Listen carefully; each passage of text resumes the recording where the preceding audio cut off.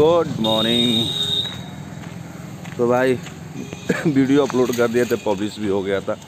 पता नहीं फिर उसके बाद मुझे लग रहा है कि आधे घंटे बाद रिस्ट्रिक्टेड मूड ऐसा ही कुछ हो गया। पता नहीं ऐसा क्यों, मैं दो तीन बार मेरे वीडियो में ऐसे- हो गया है। फिर उसके बाद से फिर उसको डिलीट मार के फिर अपलोड मारेंगे घर पे जाके। तभी तो फ़िलहाल मैं कोचिंग पढ़ा के घर जा रहे हैं। पता नहीं ऐसा क्यों हो रहा है यूट्यूब पे। रोज़ जो है, एक दो नए कैंडिडेट देखने को मिल रहे हैं। विजय कमला भी मतलब आ गई मैदान में। इतने सारे मतलब कैंडिडेट हैं क्या बताया जाए। मुझे तो लगता है केवल भाजपा से एक हमें समझ लग रहा है कि पच्चीस तीस कैंडिडेट खड़े हैं। केवल भाजपा से टिकट मांगने के लिए। सपा से भी दस पंद्रह होंगे। इसी बीच में मैं भी अपना पोस्टर लगा देता हूँ। लगातार कई दिन तक जब हल्दी दूध पिए हैं तब जाकर थोड़ा सा कुछ गला जो है सही लग रहा है। दवाई से कुछ असर नहीं होना है। हाँ। आन के लिए बनी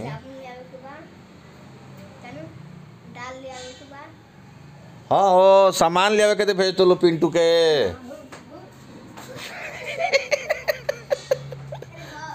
खाली झूठे झूठे बोला तरह सामान लेवा फिर पूछा तनी हाँ हो।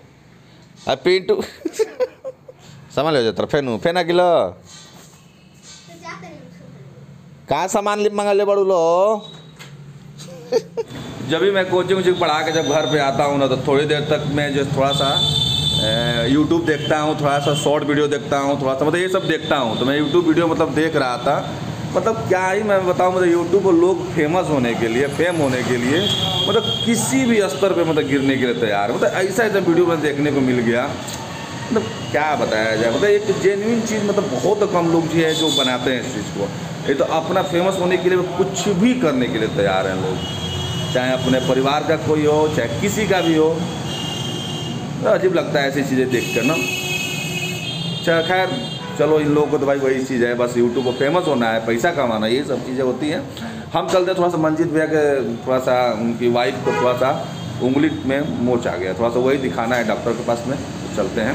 पहाड़ी रमन को दिखाना था तो मंजित भैया आते आते उठ के चले गए वो। फिर दो बजे बैठेंगे तो फिर वो आएँगे। फ़िलहाल हम चलते हैं घर पे। तो अभी भाई खाना हो रहा है जल्दी जल्दी खाकर मुझे निकलना है थोड़ा सा जाना है हल्दी के साइड में। कुछ काम है। बाकी खाने में देखो मतलब क्या मतलब साग वाला दाल, लौकी और ये आलू, मटर की भुजिया। तैयार हो गए। पहन लिए अंदर, इनर पहन लिए हैं, ऊपर से एक जैकेट डाल लिए हैं। क्या पता आपको ठंडा उंडा लगने लगेगा। क्योंकि बंदे के साइड से जाना है तो ठंडा लग भी सकता है। तो चलो, निकलते हैं, बारह बज रहा है इस टाइम पे। तो निकल गए हैं घर से, बारह बज गया है।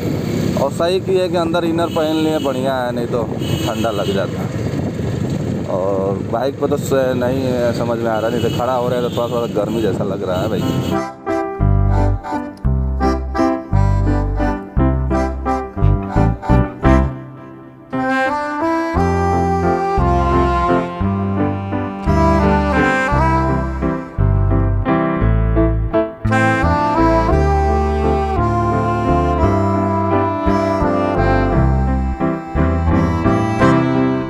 इतना तेज नींद लग रहा है कि हम क्या बताएँ।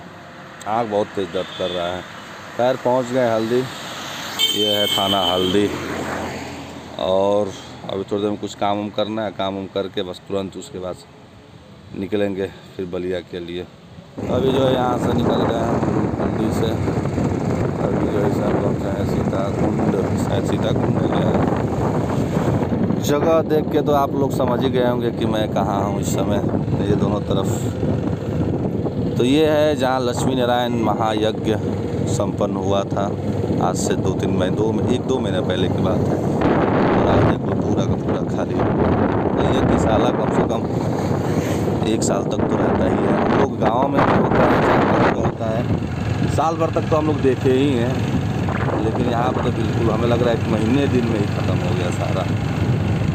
चलो खैर, कोई बात नहीं है। अभी हम जा रहे हैं बलिया। गाँव में शादी उदी होता है तो कम से कम हम लोग तो साल भर तक जो है शादी का जो मंडप होता है, उसको तो रख देते हैं हम लोग। यहाँ पे तो इतना बड़ा सा जग हुआ था, करोड़ों के खर्च से जग हुआ था। से कम साल भर तो इसको रख देना चाहिए। गए बलिया, और एक तो देखने को मिला कि हर जगह जहाँ देखो तहाँ पे शादी शादी। और शादी वजह पूरा रोड पूरा जाम हो गया, रोड पर ही शादी मतलब हो रही है तो ब्लॉक करते रहे लोग। इसलिए बलिया, बहुत भीड़ है। तो अभी घर पे नहीं रुक रहे हैं, अभी चल रहे हैं थोड़ा सा कुंवर सिंह चौराहे पर। वहाँ पे एक दुकान का उद्घाटन, एक हमारे मित्र हैं, उन्हीं के दुकान का उद्घाटन है, उसी में चलते हैं। वो है कुंवर सिंह चौराहा और यहाँ पे यहीं पे दुकान खुला है, टाइल्स का दुकान है। और सामने इसके सामने मंजिल भैया का दुकान है तो यहीं पर खुला है टाइल्स का।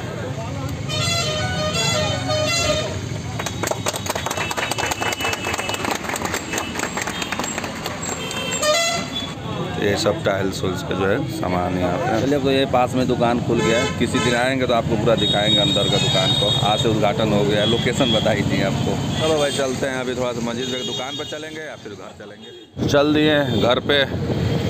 साढ़े चार हो रहा है इस टाइम पे। तू पढ़ा बाबू के भी पढ़ावल करा ठीक ना? पढ़त उड़त नहीं खा।